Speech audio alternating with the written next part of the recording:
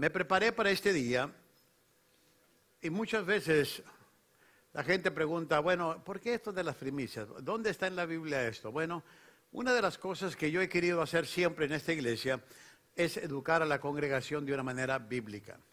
Y yo no sé usted, pero yo decido creer en toda la Biblia, desde Génesis hasta los mapas. ¿Por qué? Porque toda la Biblia es inspirada por Dios. Y hay cosas que son relevantes para nuestros días y que deben ser una práctica, amados, para nosotros simplemente porque honra a Dios.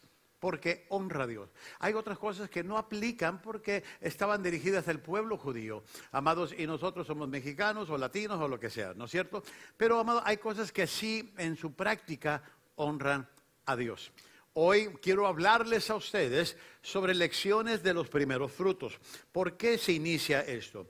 Y estoy tomando Deuteronomio capítulo 26, versículos del 1 al 11. Voy a hacer lectura y luego entro a la palabra, amados, para enseñarles brevemente, amados, sobre lo que significa eh, los primeros frutos. Mire lo que dice Moisés escribiendo, es el escritor de este libro. Mire lo que dice.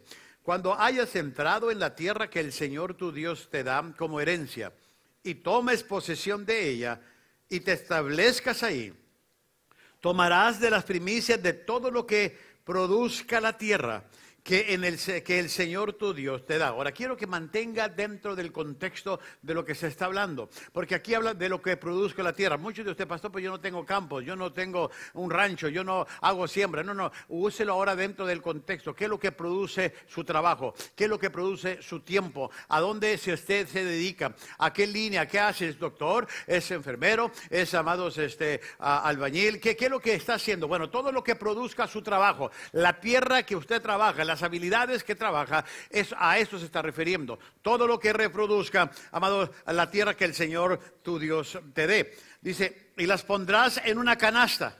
Luego irás al lugar donde el Señor tu Dios haya decidido que, en otras palabras, traer los diezmos, las ofrendas al alfulit para que haya alimento. Dios decide. Tú no decides dónde mandar tu ofrenda. Porque hay gente que viene a esta iglesia y manda sus ofrendas a otro lugar. No, no, no, no, no. no. su ofrenda, su diezmo, viene a su casa. Viene, amado, es como lo, decía al principio, es como, amado, Nathan, que está trabajando y recibe su cheque y le da el talón a Nancy, pero el cheque se lo da a la familia, a otra familia, a los vecinos. Nancy va a decir, no, no, mijito, cheque te quiero, cheque te adoro, o sea, quiero todo. O sea no va andar con rodeo, porque no es bueno que tú trabajes y nomás le des las migajas a tu familia, pero lo demás se lo das a alguien más.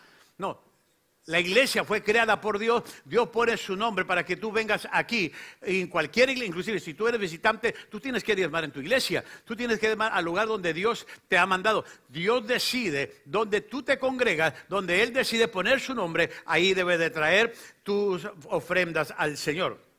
Y luego dice el 3, y le, dirás al sacerdote que esté oficiando.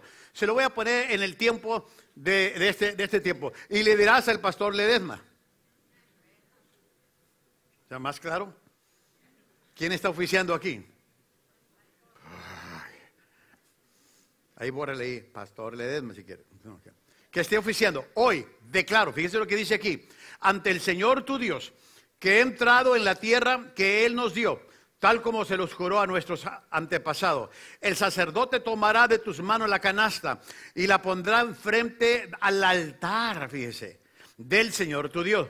Entonces tú declararás ante el Señor tu Dios. Mi padre fue un arameo errante y, descendió a Egipto con poca gente. Vivió ahí hasta llegar a ser una gran nación fuerte y numerosa. Pero los egipcios nos maltrataron, eh, nos hicieron sufrir y nos sometieron a trabajo forzado.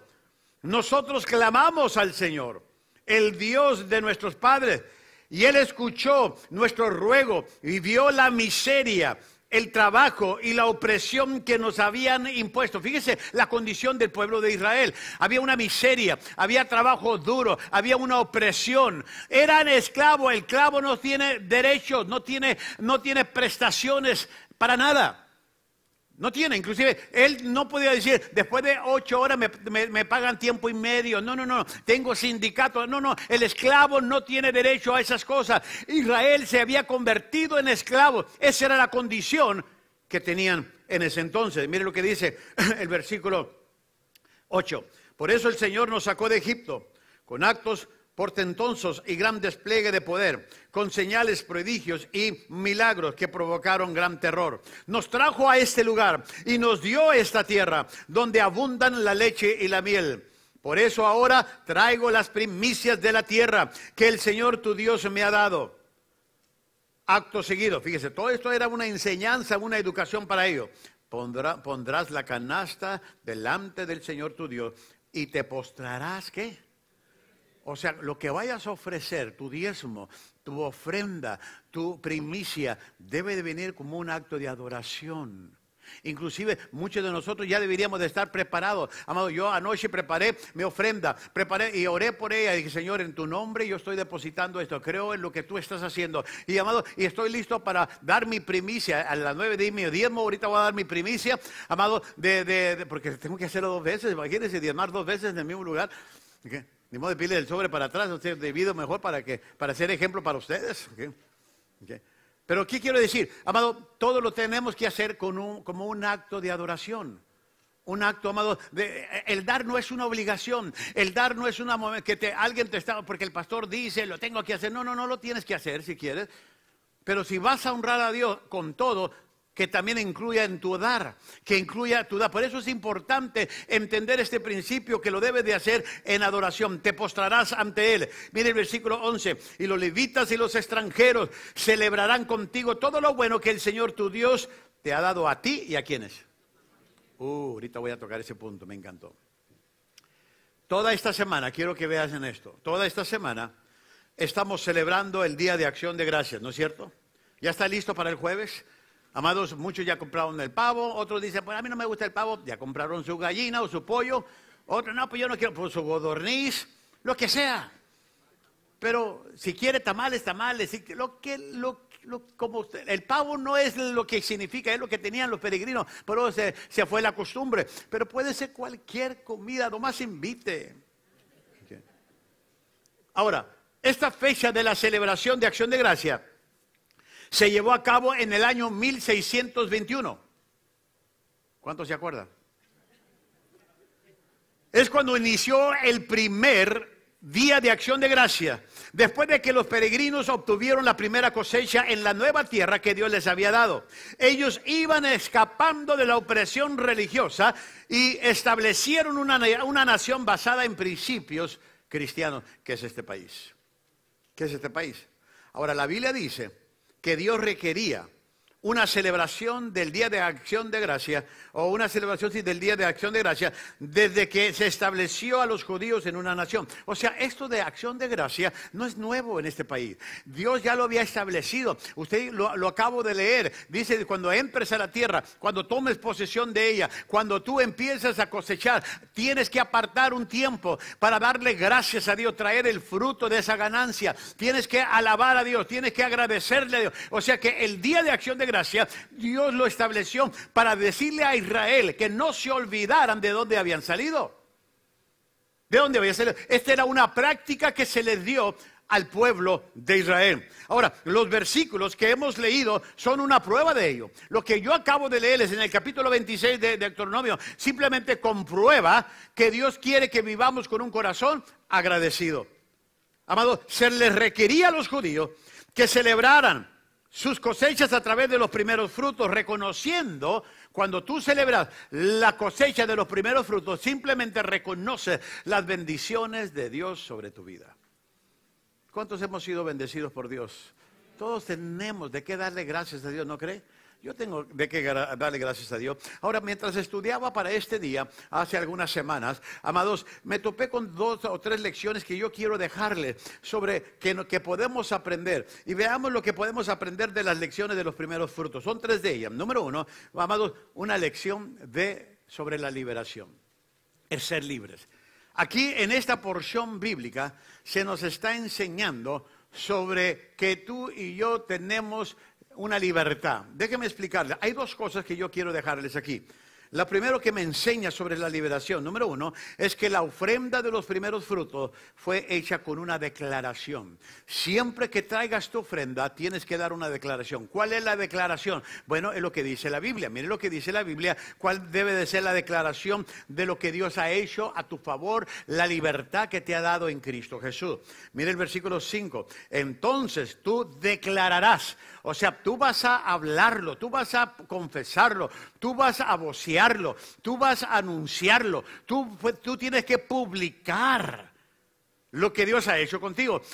La ofrenda que traiga lo haces con una declaración. Gracias te doy porque Dios tú has provisto, porque tú me has sanado, porque tú has dado trabajo, lo que sea tu declaración. Amado, dice, entonces tú declararás ante el Señor tu Dios.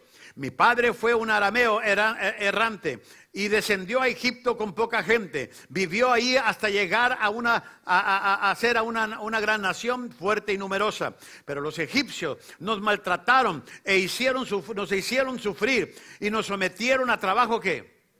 Ahí no había sindicatos, ¿se fija? Ahí no había prestaciones. Esa era la condición que vivían.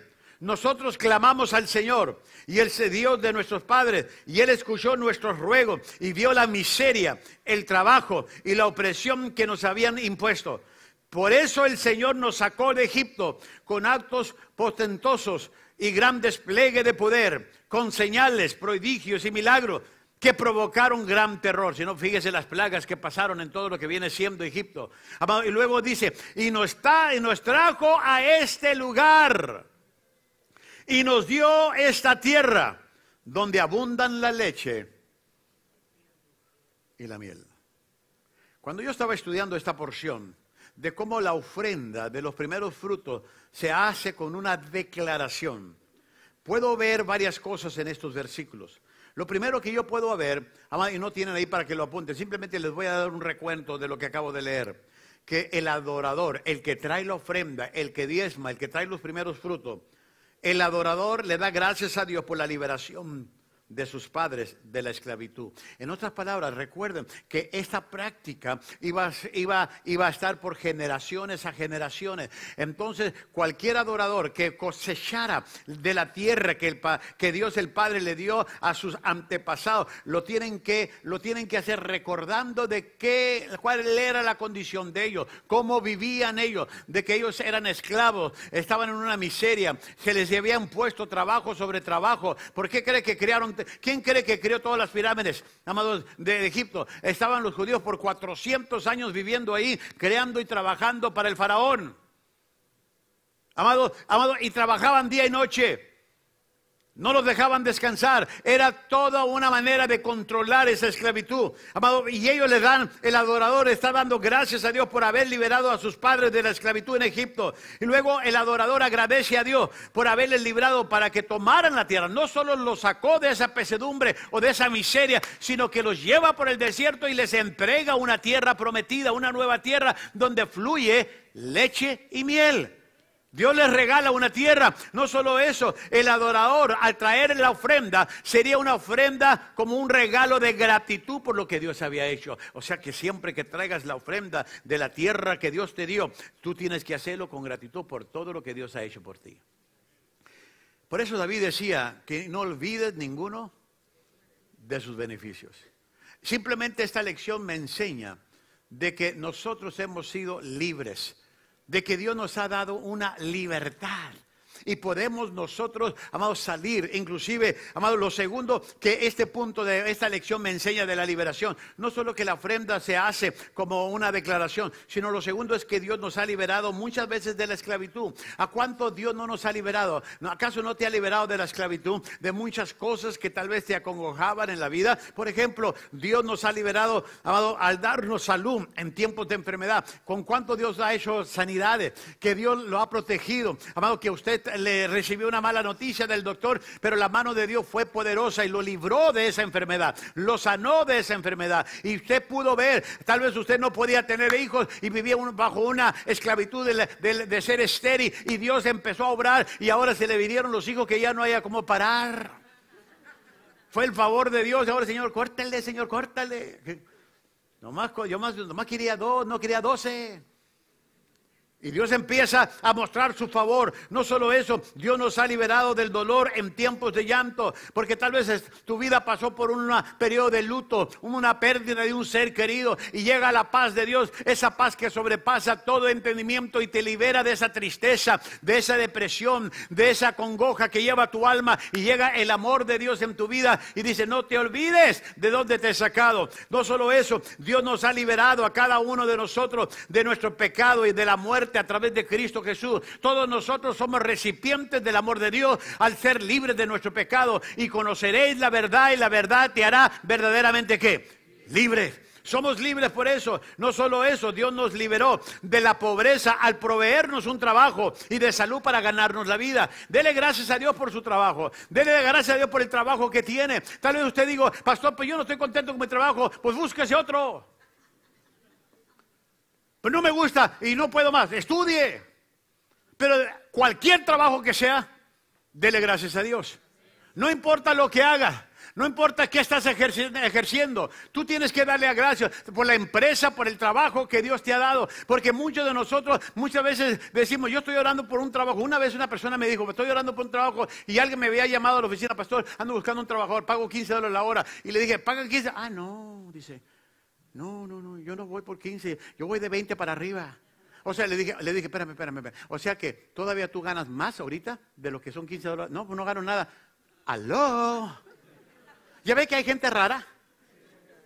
Que dice que por 15 dólares ellos no se van a trabajar. Prefieren vivir en la miseria que ganar 15 dólares la hora. Ahora, éntrale a 15 dólares la hora.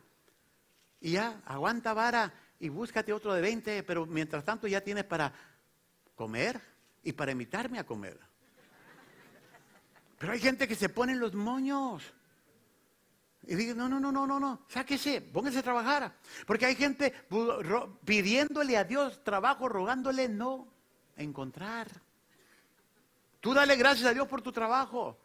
Dios te ha provisto tu trabajo. Y tienes que, porque mira, mire, oh, ¿qué prefieres? ¿No trabajar? Porque también la Biblia me dice que el que no trabaje, que no coma. Si no me cree, véalo, búscalo ahí entre Génesis y Apocalipsis, ahí está. El problema de muchos de nosotros es que se nos olvida que aún el trabajo viene de Dios. Que aún el trabajo, tu empresa, todo lo que Dios te ha confiado es de Dios. Dios te lo ha provisto. No importa si es medio tiempo, no importa si estás en un trabajo que ahorita no te llame la atención, no importa, lo que importa es que reconozca la fuente de donde viene todo esto. También no se le olvide de, darle gracias a Dios por todos los problemas que no tiene. Dele gracias, Señor, gracias a Dios que no tengo tantos problemas como el vecino, como mi hermano, porque amado, ¿sabías usted que hay gente que tiene problemas diferentes que tú? Y tú ves a esa persona y dices, gracias a Dios que no soy pastor de centro familiar no le gustaría tener todo lo que yo cargo. Y sin embargo, amados, yo doy gracias a Dios cuando miro a uno de ustedes. Ay, Señor, gracias a Dios que no soy una ovejita de esas. Porque cada uno vive en lo que Dios lo diseñó, en el molde en que está. Tú y yo deberíamos de darle gracias a Dios por problemas que no tenemos, que alguien más tiene. Y ese alguien más debería darle gracias a Dios por problemas que Él no tiene, que tú tienes. Porque Dios no nos da más de lo que no podamos resistir. Y debemos de entender ese principio que Él nos ha liberado de todo eso. Tenemos mucho de qué agradecerle al Señor. Por eso esta porción bíblica me está diciendo a mí, dice, dice, dice, acuérdate dónde has salido, acuérdate quién te ayudó, acuérdate quién te, quién te sacó de la opresión que tenía de tu trabajo, acuérdate, o sea, por eso las primicias eran puestas porque ya estaban dentro de la nueva tierra prometida, ya estaban cultivando, porque donde estaban antes, en Egipto, no eran dueños de nada, no eran dueños ni de su vida, no eran dueños ni de lo que trabajaban, no eran dueños de nada, pero Dios los saca, los lleva a una tierra y les da propiedades y empiezan a trabajar. Y de todo lo que estaban eran dueños. Le podían dejar un legado a sus hijos, le podían dejar una casa a sus hijos, le podían dejar unos burros, unas vacas, unos camellos, lo que sea, ellos estaban produciendo, pero antes no eran nada y dice, acuérdate de dónde has venido. Así que dele gracias a Dios por el carro que tiene. Ese carro del año, del año en que lo hicieron, pero dele gracias. que tiene un carro, porque tal vez cuando llegó a este país o cuando empezó no tenía nada, ahora tiene carro, no tendrá motor, pero tiene carro. Ya más le falta el motor. Dele gracias a Dios por todo, porque miren, nadie empezó o cayó parado en esta vida, ¿no es cierto? Todos empezamos de abajo. Y vamos ventajándonos, ven creciendo a medida que somos responsables con lo que Dios nos confía. Y tenemos que darle gracias a Dios porque Dios nos sacó de todo esto. La segunda lección que yo veo en nuestra historia es una lección de dependencia. Tenemos que seguir dependiendo de Él. Hay dos cosas que yo quiero compartir aquí con ustedes. Y lo primero que quiero hablarles de esta lección de dependencia simplemente, número uno, que los judíos reconocían la dependencia que tenían en Dios cuando presentaban sus ofrendas. Ellos reconocían la dependencia que tenían delante de Dios cuando presentaban sus ofrendas. En otras palabras, ellos llegaban diciendo, yo crecí en esta tierra nueva que tú, oh Dios, nos has dado. Por eso traían las primicias. Cuando ellos se acercaban con sus primicias, decían, Señor, en esta tierra, esta tierra que fluye leche y miel, en esta tierra prometida, aquí crecí, aquí me formé. Y Señor, ¿sabes qué? E, esta tierra vino de ti. Ellos reconocían de dónde venía esta tierra. Ellos reconocían de dónde, de dónde, estaban antes sus antepasados y ahora dónde están ellos. Y al presentar sus primeros frutos, las ofrendas, ellos estaban declarando la dependencia que tenían de Dios, de, Dios, de proveer la cosecha que tenían. ¿De dónde vino tu trabajo? ¿Le das gracias a Dios por tu patrón que te ha contratado? ¿Le das gracias a Dios por los clientes que tienes? Le das gracias a Dios porque Él te envía gente a cada momento. Y tú tal vez tú dices, es que me está llegando el agua al cuello, no importa, pero mira Señor, yo soy tu hijo y no hay justo desamparado ni su simiente que mendigue el pan.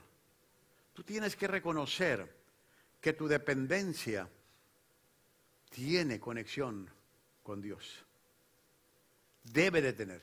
De otra manera te vas a perder todo lo bueno que Dios tiene para tu vida. La segunda lección que yo, que yo tengo de dependencia es que, número dos, necesitamos recordar que debemos depender en Dios para, lo, para que supla todas nuestras necesidades.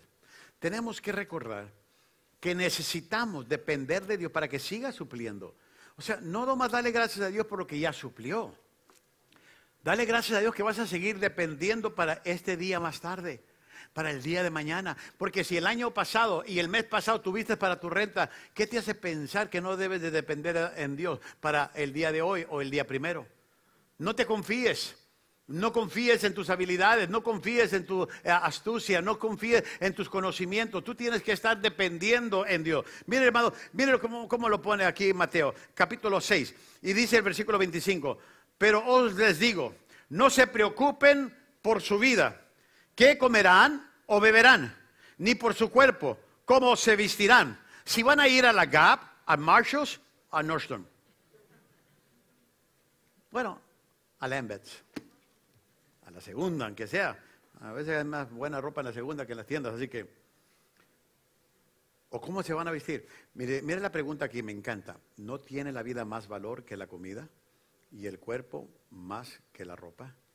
Fíjense, dice el 26, fíjense en las aves del cielo. No siembran, ni cosechan, ni almacenan en granero. Sin embargo, el Padre Celestial las alimenta. ¿No valen ustedes mucho más que ellas? Fíjese, amado, eh, la comparación que hay aquí.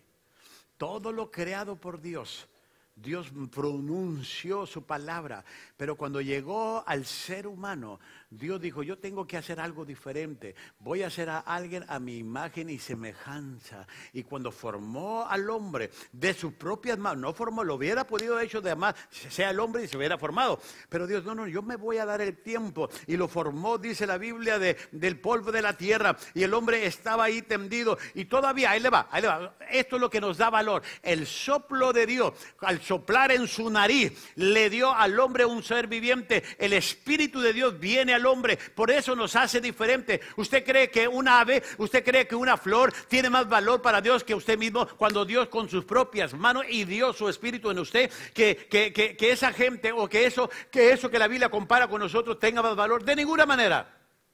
Dios le da valor a lo que Él crió con sus manos, a donde Él puso su espíritu. Usted tiene valor delante de Dios. Dios lo va a cuidar a usted. Den un aplauso al Señor por ello, si lo cree.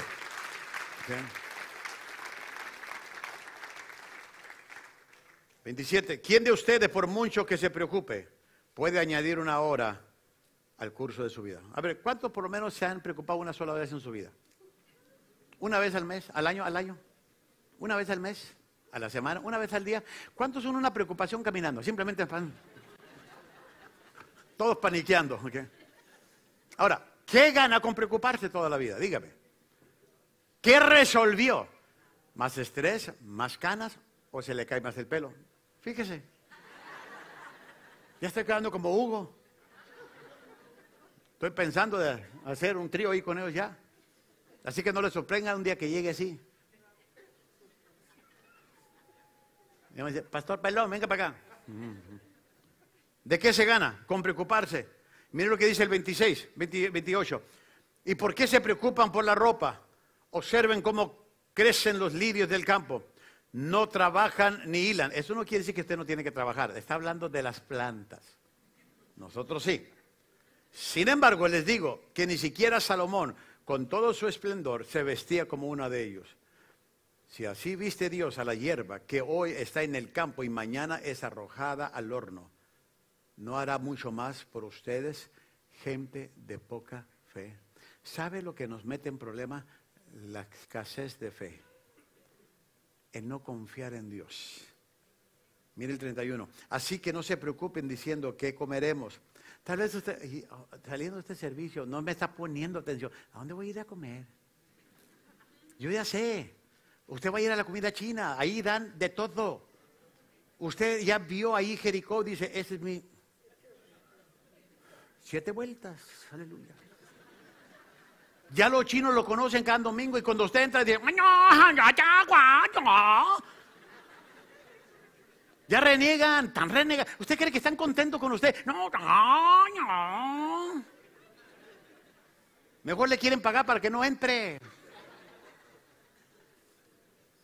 Porque todos nos preocupamos, ¿qué vamos a comer? ¿Qué vamos a comer? Dice, dice, aquí dice, ¿qué comeremos o qué beberemos? ¿Con qué nos vestiremos? Mire, mire el versículo 2, me encanta cómo lo pone aquí el Señor. Porque los paganos andan tras todas estas cosas. ¿Quiénes son los que andan detrás de todas estas cosas? Los paganos. Y miren lo que dice. Y el Padre Celestial sabe que ustedes las necesitan. Ellos andan detrás de ellos. Dios sabe que ustedes necesitan esas cosas. Ahí le va, me gusta porque ahí no te... Mire, este versículo es, famoso de muchos cristianos y lo recitamos, pero no lo practicamos, pero es otra cosa. Más buscar, más bien buscar primeramente el reino de Dios y su justicia y todas estas cosas serán qué? ¿De cuáles cosas? Del pan, de la bebida, de la ropa, de añadir vida a tus años y años a tu vida, de la salud.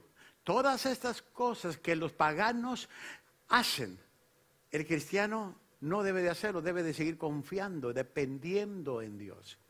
En otras palabras, cuando este versículo 32 me dice que los paganos buscan o van detrás de todo esto, no se porten como los paganos.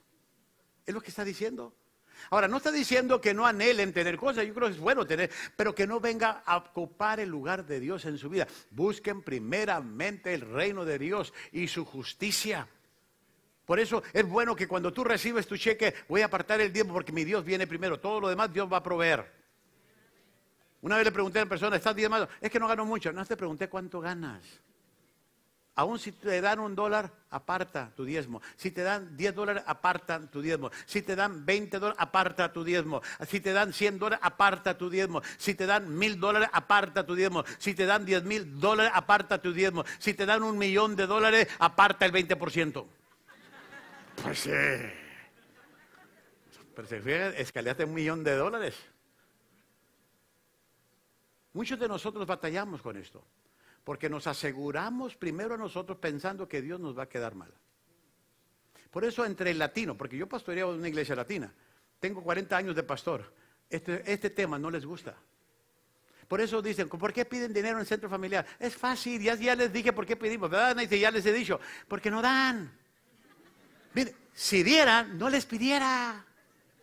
Inclusive, si dieran demasiado, hermano, ya cálmense, ya nos llamó el Banco de América que no hayan de poner su dinero. Y muchas veces la gente piensa, como una iglesia de este tamaño, de más de mil personas entre dos servicios, es que todos dan, no, hermano.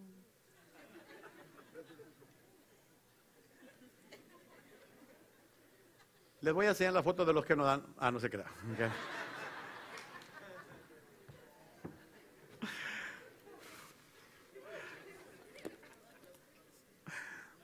Yo voy a seguir antes que pierdan la salvación, porque no quiero que pase eso. ¿Puedo hacerles unas preguntas? ¿De quién depende usted? ¿Cuál es la fuente de lo que recibe para vivir en esta vida? ¿Será su trabajo? ¿De ahí depende? ¿Quién te dio el trabajo? ¿Será sus habilidades? ¿Quién le dio las habilidades y los talentos? ¿Será sus estudios? ¿Quién te dio los estudios? ¿Quién te dio la habilidad de pensar, de conocer, de aprender? Dios. No importa dónde le busques, todo viene de Dios. Dios nos desafía para que pensemos en cosas más elevadas, en asuntos espirituales más importantes. Es bueno trabajar para vivir, pero hay que recordar que al final de todo eso es Dios el que lo hace posible.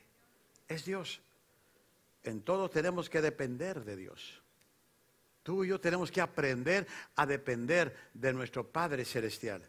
Pero aquí hay tres lecciones en esta lectura. Una lección sobre la liberación, una lección número dos de la dependencia y número tres, una lección de deleite, de deleitarse, de gozarse, de hacerlo con alegría y con gozo. Mire el versículo 11, mire cómo lo pone el escritor y mire lo que dice. Y los levitas y los extranjeros celebrarán contigo. Fíjese, subraya esa palabra, celebrarán. Habla de gozarte, de, cuando traigas tu ofrenda, hazlo con gozo, con celebración, con alegría. Recuerde lo que Pablo dijo, Dios bendice al dador que alegre. Dice, mire, celebrarán contigo, pero ¿qué van a celebrar? Aquí hay todo lo bueno. Subraya la palabra bueno. Porque todo lo bueno viene de Dios. Todo lo bueno que el Señor tu Dios dice. Todo lo bueno. ¿Qué dice también la Biblia? Que toda buena dádiva y don perfecto, ¿de dónde viene? De, arriba, del Padre de las luces. Todo viene de Dios. Todo lo bueno viene. Dios no te manda castigo. No creas que Dios está esperando en el cielo a ver cómo te estás portando para, para hacer hace, lo que hace urgiendo de vez. No, no. Dios está viendo cómo bendecir tu vida. Ahora, Dios permite pruebas permiten muchas circunstancias en tu vida, pero no vienen de Dios. No vienen de Dios. Todo lo bueno sí viene de Dios. Pero mire, no, termina este versículo. Mire, me gustó mucho. Dice, vuelvo a leer de principio, y los levitas y los extranjeros celebrarán contigo todo lo bueno que el Señor tu Dios te ha dado a ti y a quiénes. ¿Y a quiénes? Uh, I like this. You like this? This is nice. Porque cuando yo soy obediente, dice la Biblia que Dios me da a mí, y no solo a mí, sino... Fíjese, voy a decirles algo, mis hermanos. Cuando tú caminas en la obediencia y la bendición de Dios te persigue, aunque tus, tus hijos anden mal, la bendición los alcanza a ellos. Mientras vivan en tu casa, aunque no quieran nada con Dios, no quieran venir a esta iglesia, dice la Biblia que la bendición los va a alcanzar. Dios te da todo bueno a ti y todo lo bueno para tu familia. Es lo que dice la Biblia. Tú tienes que aprender a creer estas cosas. Dios quiere que tú celebres, que esa sea la actitud, que tú traigas tu primicia, que traigas tu diezmo. ¿Por qué? Porque Dios ha sido bueno. Me gozo, Señor. Porque mire, yo prefiero tener algo para traerle a Dios que además no tener nada y no traerle algo. Usted decide. Porque cuando Dios me bendice, me da para traerle. Cuando yo no recibo bendiciones, porque yo decidí bendecirme solo. Y no reconocí a Dios. Por eso es importante entender este versículo. En este versículo Dios espera que nos regocijemos. Solo piense en todas las cosas buenas que el Señor le ha dado a usted y a su familia, a sus hijos, la vida, la salud, los trabajos, la escuela. Muchos de ustedes me hablan, mi hijo recibió beca, mi hijo no está pagando nada, y es una escuela de 40, 50 mil o lo que sea al año, y mi hijo Dios lo ha. ¿Por qué? Porque es bendición de Jehová. ¿Por qué? Porque usted es fiel a Jehová. Dios sigue bendiciendo a su pueblo. Miren lo que dice el Salmo 9. Quiero alabarte, Señor, con todo el corazón y contar todas tus maravillas. No deje de contar y cantar sus maravillas de lo bueno que Dios ha sido con usted. Mire el versículo 2. Quiero alegrarme y regocijarme en ti y cantar salmos a tu nombre, oh Altísimo. Esa debería de ser la actitud siempre y cuando nosotros nos allegamos a su presencia, siempre que traemos una ofrenda especial, el diezmo. Señor, por eso estoy aquí, porque a través de esto te quiero alabar, te quiero glorificar, quiero contar tus maravillas en mi vida. Dios espera que nos regocijemos en su bondad. Todos los días, cada día que nos da, eh, Dios se nos da un motivo para regocijarnos. Cada día se nos da un motivo para alegrarnos en el Señor. Y eso es importante de hacer. Las bendiciones de Dios siempre llegan. Miren lo que dice Filipenses capítulo 4 versículo 6. Miren lo que dice.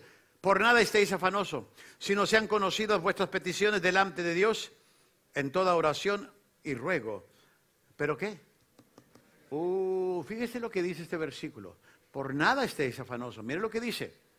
Si no sean conocidas tus peticiones, mis peticiones, delante de Dios, pero con, oración y ruego, pero no, no, no se te olvide la última parte. ¿Cuál es la última parte? Con acción de gracia. En nuestras palabras, Señor, te doy gracias porque sé que me has escuchado. Te doy gracias porque esa necesidad está en tus manos. Te doy gracias porque mi hijo, mi hija está en tus manos. No han querido nada de ti, pero yo te los pido. Estoy rogando por ellos, estoy orando por ellos. Pero no me voy a preocupar, te lo voy a dejar a ti en tus manos. Te doy gracias porque sé que tú, dale gracias. O sea, siempre tiene que haber desde el fondo de nuestro corazón una actitud de agradecimiento a Dios. Las bendiciones de Dios nos llegan para hacernos feliz. Así que regocíjese en todas las cosas buenas que Dios nos ha enviado. Cuando los judíos se acercaban para adorar con sus primeros frutos, ellos estaban recordando la libertad que habían recibido. Siempre que traían cada año, y no era una práctica de una sola vez que hicieron cuando llegaron ahí, esa práctica hasta la fecha ellos celebran. Esa práctica hasta la fecha ellos lo celebran. Y cuando ellos lo hicieron, simplemente dice la Biblia que, amados, traían y lo hacían recordando de donde Dios los había sacado, de donde Dios los había retirado. Dice, amado, que cuando los judíos entraban, simplemente recordaban la libertad que habían recibido. Estaban reconociendo la dependencia que tenían en Dios. Y juntos, amados, se regocijaban por el amor de Dios en sus vidas y las bendiciones que Dios le ha dado. Ahora, esta es una buena manera para celebrar el Día de Acción de Gracia el traer siempre nuestras primicias en agradecimiento a Dios. Amados míos, yo les he dicho que esta iglesia somos bendecidos. No somos una iglesia perfecta, no somos una iglesia, amados, ah, llena de puros santos. Hay muchos pecadores aquí, que cada día tenemos muchas áreas de nuestra vida que trabajar, pero sí somos una iglesia bendecida. Dios nos ha bendecido y tenemos que seguir al pie del cañón trabajando. Yo recuerdo hace cinco años, y esta semana estaba pensando en todo esto, que compramos en mayo del 2013 este edificio. Y los siguientes dos años y medio, tres, amados, le invertimos un millón trescientos mil en todo lo que es el auditorio y en todo lo que son los cuartos. Todavía nos queda. Todavía nos queda mucho trabajo. Amados, estamos queriendo hacer un lobby. Usted tiene este bosquejo o este boletín. Amados, eh, estamos queriendo hacer un, lobby para donde se ponen las carpas, amados, porque el tiempo de frío, el tiempo de calor, el tiempo de los vientos de Santana, además usted ve lo que el viento se llevó. Es un corre todo, ¿ok? Y persíguelo, que no se te vaya la carpa, ¿ok? ¿Por qué? Porque no tenemos un lobby, no tenemos una antesala como iglesia para convivir, para tener reuniones. Y estamos viendo de hacer todo eso. Todavía nos falta, amados, nos falta estacionamiento, porque muchos de ustedes tienen que estacionarse en la tierra. Y muchos de los líderes se enojan porque pensamos que nomás ellos tienen VIP. No, nosotros debemos irnos a la tierra y dejarle a la gente nueva donde hay estacionamiento. Queremos rehacer todo este estacionamiento. Me pongo a pensar, el miércoles estuve un rato con la Juana estaba con los niños hablando con ellos. Y, una cosa que les dije a los niños, mis hijos, los dos que vieron dirigiendo aquí los últimos dos el último canto, mis hijos fueron productos de Aguana. Ahí crecieron, ahí se formaron. Y ahora están sirviendo, ahora son papás. Ahora ellos están sirviendo al Señor. Ahora, amados, ellos están en sus vidas. Pero qué mejor herencia tú le puedes dejar a tus hijos. ¿Cómo puedes inculcarles el temor de Dios? La iglesia. Yo prefiero tenerlos en la iglesia constante que andar buscándolos en las calles por las noches. No hay mejor lugar. Me da gusto ver a los jóvenes alabando al Señor, porque a veces me, asomo los viernes y aquí están. Y usted los vio hace dos, tres domingos que aquí estuvieron cantando todos ellos. El ver a Saraí Sánchez, la vi crecer a esta niña. De chica, ¿cómo era chillona? No, hombre, ahora lo que chilla lo canta el Señor. ¿Dónde está Saraí? ¿Dónde está Saraí? ¿Dónde está? We love you, Saraí. Y ahora está alabando al Señor. Aquí está, en su iglesia. También fue una niña criada en, esta, en esto. Los hijos de mi hermano Jaime y Matilde. Muchos jóvenes que yo veo ahorita entregados al Señor. Son productos. ¿Dónde quieres ver a tus hijos? Tú dime. Tú decides dónde los quieres ver. Y depende de la inversión que hagas y dónde la hagas, ahí vas a verlos. Porque donde está tu tesoro, ahí está tu corazón. La iglesia no es perfecta. Usted ya se dio cuenta, ¿verdad? Pero es el mejor lugar que tienen sus hijos en este mundo.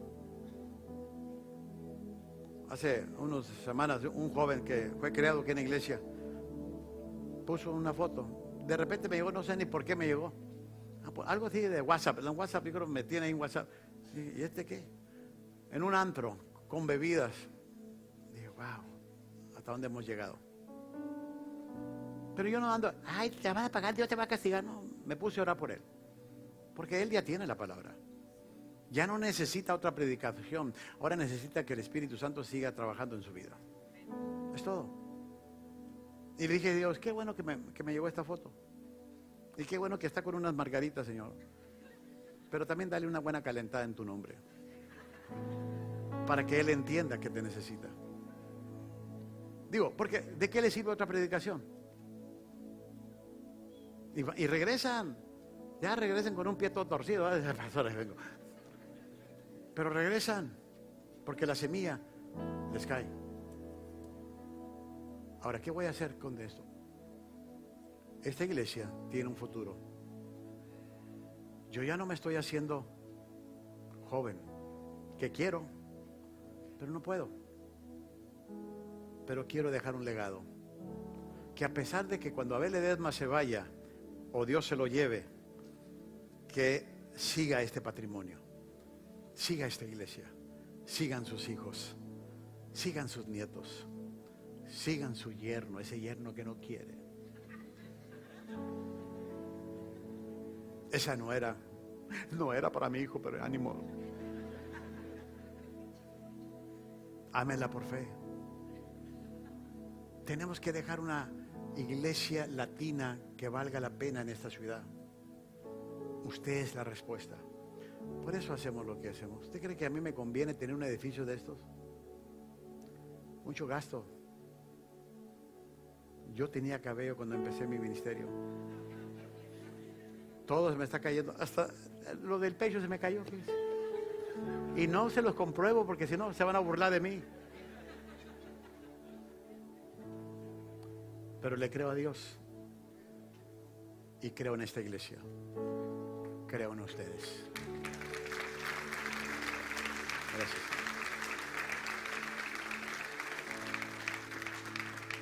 Llévese esto a casa para que siga orando por nosotros. Ahora, yo voy a decirles algo. Ustedes, pastor, ya me lo vamos a hacerlo. No. Si no hay dinero, no lo voy a hacer. Hay planes. Pero recuerde que todo en esta iglesia se mueve por fe y por feria nada más por fe, sino también la feria ayuda, son las obras que dice Santiago. Y usted me tiene que ayudar porque yo solo no puedo. Y mi primo el Chapo ya no diezma aquí. Allá lo tienen guardadito. Entonces, esto nos queda a ti y a mí el hacer este trabajo. ¿Está conmigo? Póngase de pie, prepare su diezmo, prepare su ofrenda, prepare su primicia.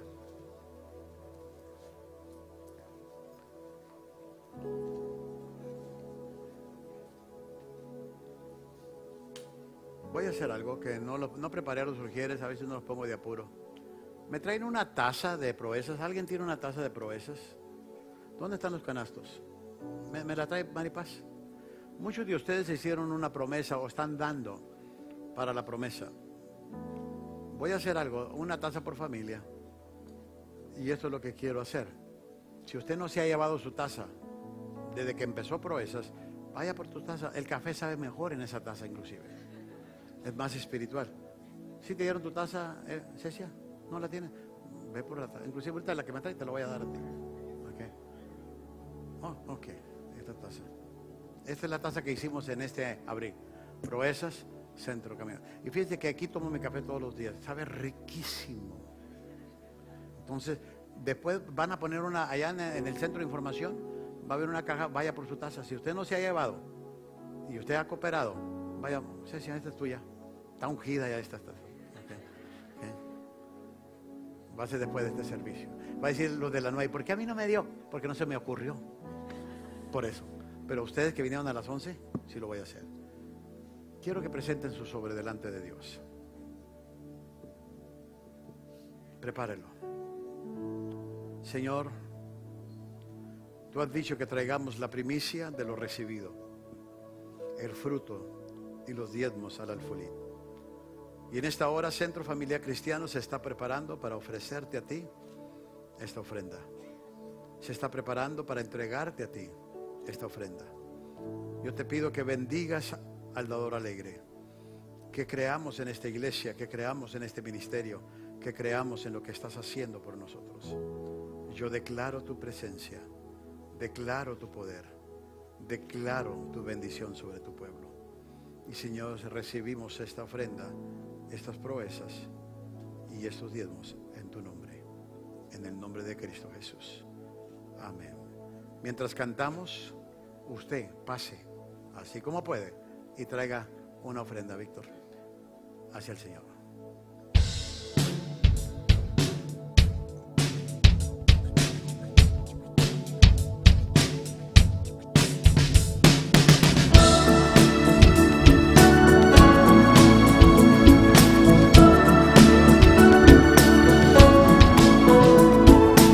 Está dispuesto, está confiado en tu palabra, tus promesas, tu llamado.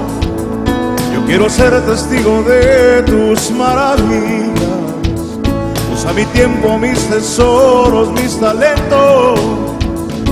Queremos ser todo lo que tú has deseado y que tu reino se establezca entre nosotros pues la visión que tú nos diste continúa.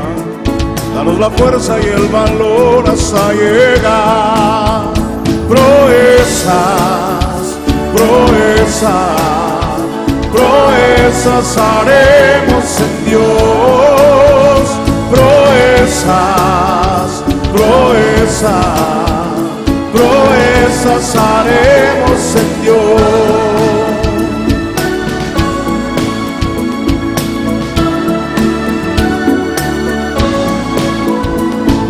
Perdonaste y rescataste del pecado.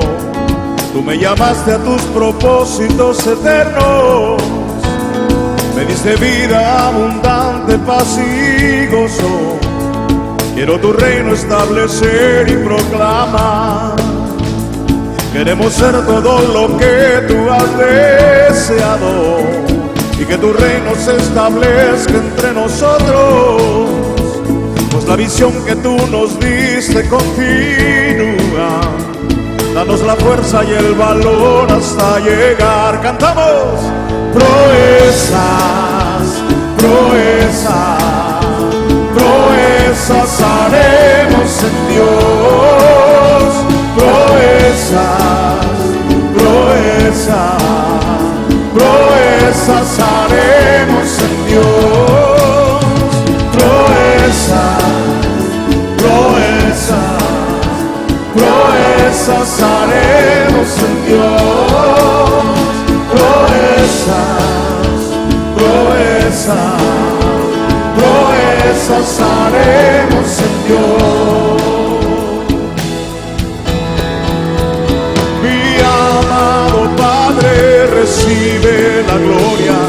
extiende tu mano y tu misericordia, mi amado Padre, recibe la gloria, solo tu presencia nos da la victoria. Proezas, proezas, proezas haremos en